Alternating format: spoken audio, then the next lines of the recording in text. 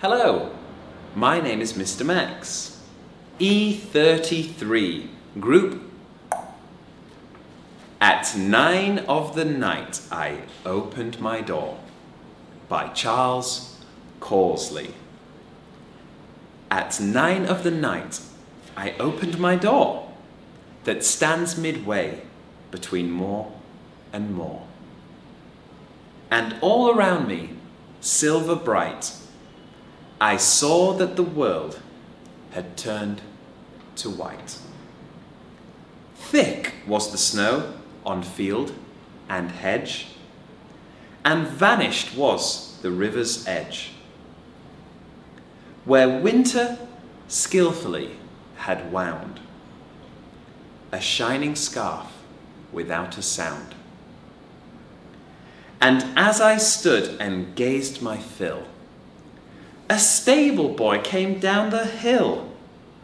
With every step I saw him take, flew at his heel a puff of flake. His brow was whiter than a hoar, his beard of freshest snow he wore, and round about him snowflake starred, a red horse blanket from the yard. In a red cloak I saw him go. His back was bent, his step was slow.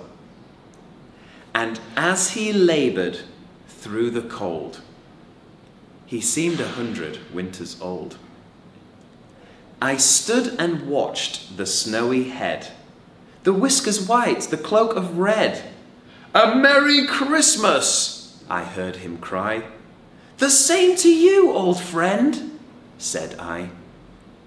Wow, this is, oh, give me goosebumps. That is quite a nice poem. I don't know if you can see it. Very nice poem. Quite difficult to read, and it's got some old fashioned language in there. But um, I'll read it one more time, and I will exaggerate the rhythm and the rhyming pattern.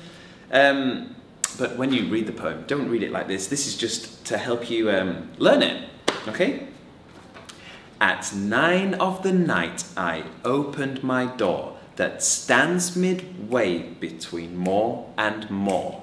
I think when you do between, you really have to between moor and moor. I think it should be like that. And all around me, silver bright, I saw that the world had turned to white. Thick was the snow on field and hedge, and vanished was the river's edge. I think this word is normally pronounced river's edge, but here in the poem, it's like this, which says river zedge. And I'm not sure if that's a stylistic choice by the author. I, I don't actually understand that. So um, I would read it quickly. That's how I would do it. River's edge. But you could say, Thick was the snow on field and hedge, and vanished was the river Zedge. Actually, you can write in the comments below which you think is better, because I'm not entirely sure, to be honest. Where winter skill, sorry, uh, and I'll, I'll do the rhythm again. Where winter skillfully had wound a shining scarf without a sound. And as I stood and gazed my fill, a stable boy came down the hill. With every step I saw him take, flew at his heel a puff of flake. His brow was whiter than the hoar, a beard of freshest snow he wore. I might have said uh, and it's the, uh, when I first read it. His brow was whiter than the hoar, a beard of freshest snow he wore. And round about him snowflakes starred, a red horse blanket from the yard. In a red cloak I saw him go, his back was bent, his step was slow. And as he laboured through the cold, he seemed a hundred winters old. I stood and watched the snowy head, the whiskers white, the cloak of red. A Merry Christmas, I heard him cry. The same to you, old friend, said I. Yeah, a very, a very difficult poem, but a very nice poem.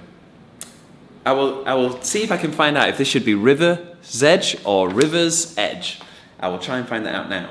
But uh, I hope that was helpful. Thank you. Bye bye.